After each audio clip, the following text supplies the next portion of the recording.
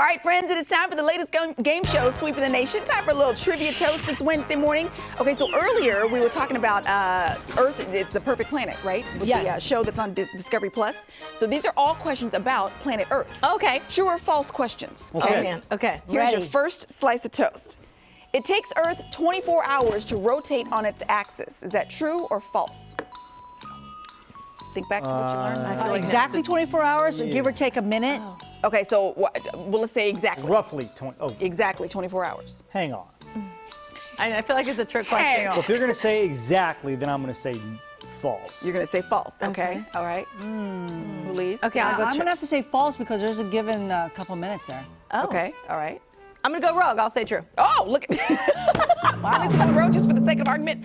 Uh, it is false, and Tina, you are correct. It is. It's not exactly 24 hours. It's 23 hours, 56 minutes, and four seconds. Oh. Now. So we're rounding up. when we Boom. Well, Paid not really, not really, because you know how the how the Earth isn't like this. It's like Right. this, right? How's it, Court? I knew you were going to make me do that. The Earth isn't like this. It's like this. Okay. Wow. So even though on its axis it takes the 23 hours, 56 minutes, and four seconds, right? Oh, Yeah. To get back to where it started. Yeah. However, it's still moving around the sun. So for it to get exactly to the same spot, it still has that shimmy factor. Right. Mm -hmm. It's got a little The wiggle room. shimmy factor. Yeah. Boom, Right. paid attention That's in what makes the geography. 24 hours. Good job, T. Okay. Good job. Okay, here's your second slice Shimmy of toast. factor. The shimmy, Shimmy factor. That sounds like something you'd be advertised on TV, like call 1 800 Shimmy Factor. shimmy factor. Okay, here's your second slice. Uh, people at the poles, at the North Pole, South Pole, Mm-hmm. are moving faster than the people who live at the equator. Is that true or false? Oh. So if you live at the North or South Pole, you're moving faster. Where are they moving people who to, live Court? In the equa- Are they doing errands? I can't. I can't with you, T. No spinning on the axis.